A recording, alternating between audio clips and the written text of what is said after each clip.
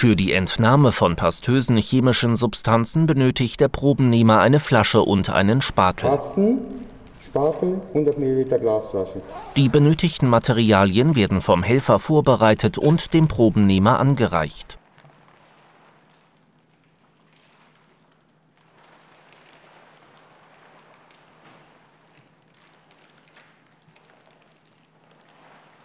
Die Paste wird mit dem Spatel aufgenommen und am inneren Rand der Flasche abgestreift.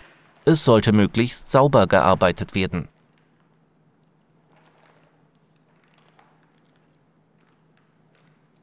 Der Spatel wird abgelegt und die Flasche verschlossen.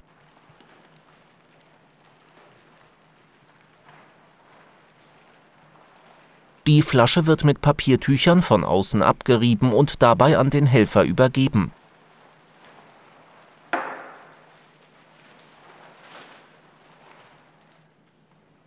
Ein Etikett wird mit Datum und der Probennummer versehen und auf die gesäuberte Flasche geklebt.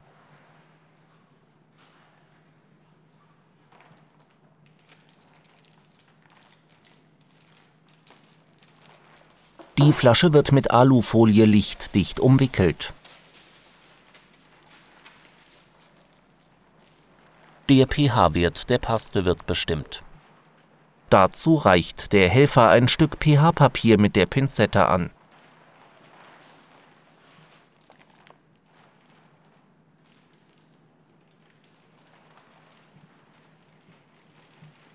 Das pH-Papier wird mit destilliertem Wasser angefeuchtet und mit der Substanz in Kontakt gebracht.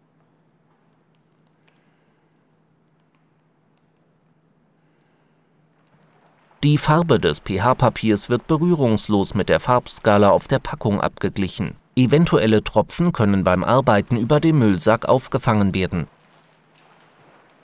Alle Daten werden auf dem Probenbegleitschein notiert.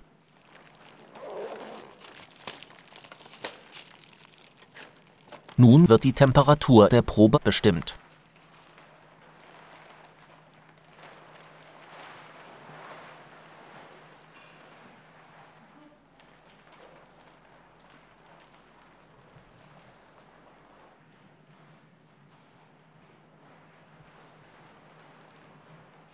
Die Probe wird mit dem Probenbegleitschein in die Dekonverpackung gegeben.